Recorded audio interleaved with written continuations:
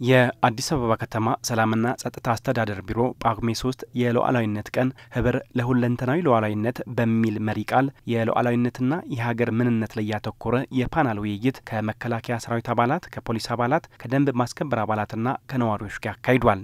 በፓናል ውይይቱ ላይ የአዲስ አበባ ሰላምና ጸጥታ አስተዳደር ቢሮ ኃላፊ ወይዘሮ ሊዲያ ግርማ የህዝቦችን አንድነትና ሉዓላዊነት አደጋ ላይ ለመጣል የሚሰሩ ኃይሎችን በጋራ መመከት እንደሚያስፈልግ ጠይቀዋል። በሀገራችን ላይ በተለያዩ ጊዜያቶች ውስጥ በውስጥም በውጭም ፈተናዎች ሲገጥሙን እኛ ኢትዮጵያውያን ልዩነት አለን ብለን በምንነሳበትና አንግባባበትም ብለን የምንላቸውን ነገሮች በሙሉ ትተን በአንድነት ቆመን በሀገር የማንደራደር ህዝቦች ነን።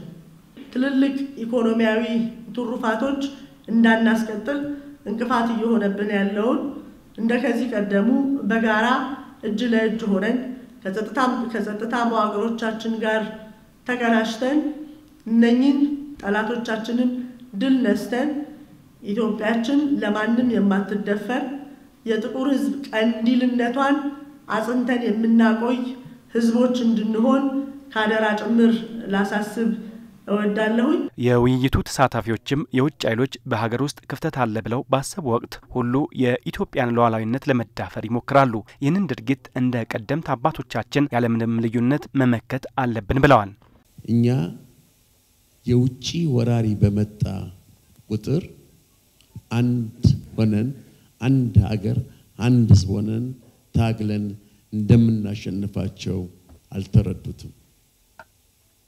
ምንጊዜም እርስ በራሳችን እንነታረክ እንጣላ እንጂ የውስጥ ችግራችን ባዩ ቁጥር ነው እንግባ የሚሉት አይችሉም። ለልጆቻችን መንገር ያለብን እኛም ደግሞ respect ልናደርገው የሚገባ ኢትዮጵያና ኢትዮጵያውያን በዓለም አቀፍ ማህበረሰብ ዘንድ በተለይ ደግሞ በጥቁር ህዝቦች ዘንድ እንደ ነፃነት ምልክት ተደርጎ የተሳለ symbolical sovereignty ያለንና ይሄም የሚያኮራ መሆኑን መገንዘብ አለብን። አዲስ አበባን የግጭት ማዕከል ለማድረግ የሚሰሩ አካላት በተለያዩ ጊዜያት ሙከራ ቢያደርጉም በህዝቡ የነቃ ተሳትፎ ማክሸፍ ተችሏል ብለዋል የአዲስ አበባ ፖሊስ ኮሚሽነር ጌቱ አርጋው። ከመላው ህዝባችን ጋር ሆነን በየቤቱ ለዚህ ይህን ችግር ለማምጣት ከተማውን ለመረበሽ ሁከት፣ ግርግር ለማስነሳት የሌለ አይነት